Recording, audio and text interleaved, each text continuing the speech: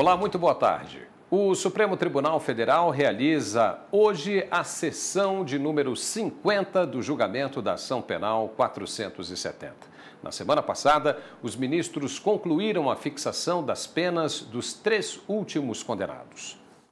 O ex-deputado do PTB, Roberto Jefferson, foi condenado a dois anos, oito meses e 20 dias de reclusão, mais 127 dias multa por corrupção passiva, e a quatro anos, três meses e 24 dias de reclusão e 160 dias multa por lavagem de dinheiro. Roberto Jefferson teve a pena reduzida por ter colaborado com as investigações. O ex-secretário do PTB, Emerson Palmieri, teve a pena fixada em dois anos e seis meses de reclusão prisão, mais 100 dias multa por corrupção passiva. A pena foi declarada prescrita. Pelo crime de lavagem de dinheiro, a pena foi de quatro anos de reclusão, mais 100 dias multa.